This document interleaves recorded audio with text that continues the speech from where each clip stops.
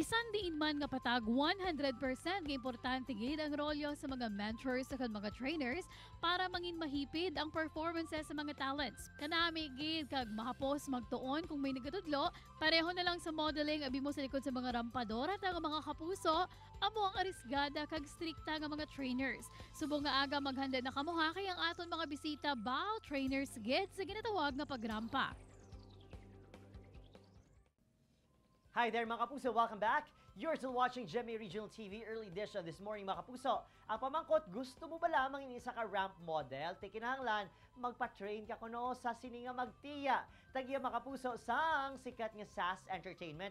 Diri sa Negros Occidental, sa Richie Vargas and John Christian Vargas. Hi! Good morning! Welcome to GMA Regional TV Early Edition. Miss Richie, John? Ngayong aga, good morning. Morning! Ba, paano nyo man na-conceptualize ang SAS Entertainment 10 years ago? Isa na kadekada.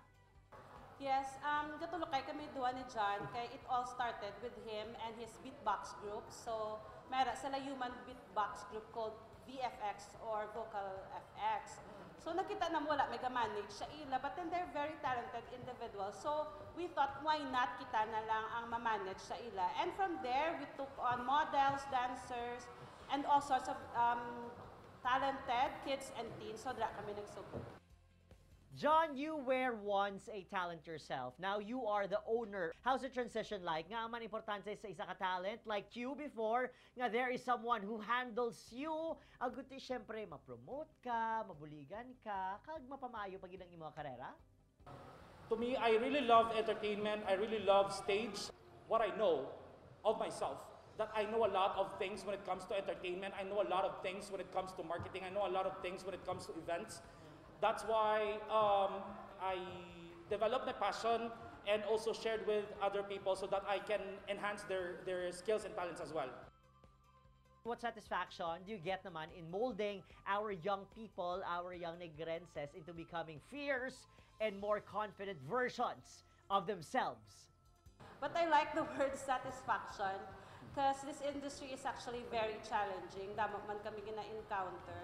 But at the end of the day, I feel very happy kay um, years back, a decade ago, I was a guidance counselor. So ang akong gina-passion is um, individual development sa kids, especially childhood development, kag teen development. So diri na continue ko man sa Japan, but in another ano naman, in another way naman.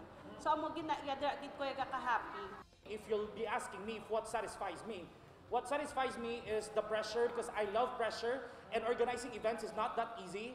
So it is very pressure and that's why I love it. And that's why I'm satisfied uh, of every event that, that we organize. Guys, Miss Richie, John, anong gusto nyo ipalabot sa aton mga ginikanan? Um, this is a relief also for the kids. It's as a creative outlet for them nga para hindi naman school lang ang ila matutukan.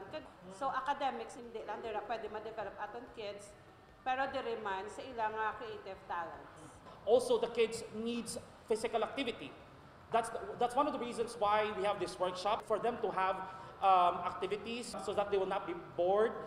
Um, of course, one of the things that they'll benefit with the workshop to enhance their confidence, they'll be able to socialize with other people. That means they, they'll not be very shy, for example, if they're on a new place and uh, will be able to develop their talent. And of course, they'll be able to enjoy their photo shoot, they'll be able to brag about it, they'll be able to um, enhance their skills when it comes to, to proper walk, proper um, pose, basic ways of photo shoot, and so on and so, so forth. There you have it mga puso because of our conversation this morning. Ato no pamatudan nga kung may talentong isa ka bata kinahanglan suportahan gid sang maginikanan kag sang bugos ninyo nga angkan agod. Di syempre ligasiya na yung makabig kong isa sa aton mga himata ang makita nato nagarampa agon malabot ang iya mas maayo nga futuro. Richie Vargas, John Christian Vargas. Thank you for being part of our program. Good morning. Good morning. Bye. Bye. O, dira lang kamuha dong switch channels, madayon lang ang magtutok, kay isa na naman ka-talented kapuso tang makaupo din sa Bisok sa pagbalik sa inyo paborito ang programa ko na aga, GMA Regional TV Early Edition.